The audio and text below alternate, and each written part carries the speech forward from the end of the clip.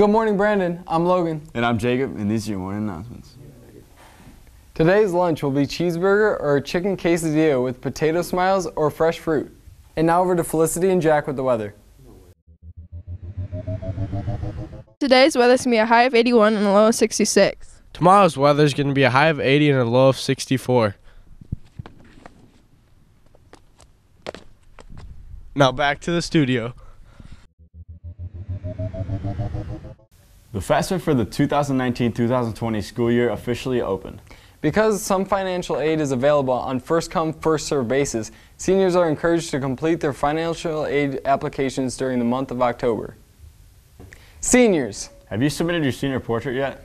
if not, there is still a chance. From October 1st to October 26th, Darren Ashley will be taking senior portraits for $15 The pictures will be taken Mondays, Wednesdays, and Fridays. during all lunches, 4th and 5th hour. Now over to the sports report.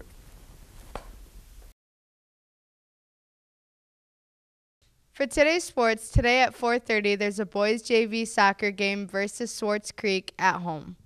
And after that at 6, there's a boys varsity soccer game versus Swartz Creek at home. Go Blackhawks. The future problem solver team will be meeting today after school in room 133. If you are interested in participating or find out more about it, please stop by.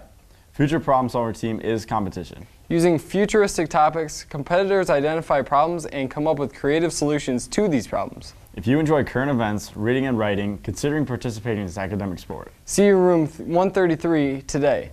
Attention juniors and seniors. The following universities will be here over the next couple weeks to visit Brandon. If you are interested in any of these schools, stop by the counseling office and sign up.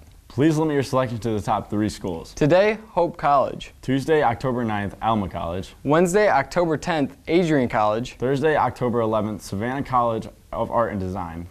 Monday, October 15th, Oakland Community College. Tuesday, October 16th, Northern Michigan University. Please sign up. And these have been your morning announcements. Have a great day, Brandon. Go Blackhawks. I pledge allegiance to the flag of the United States of America and to the republic for which it stands, one nation, under God, indivisible, with liberty and justice for all.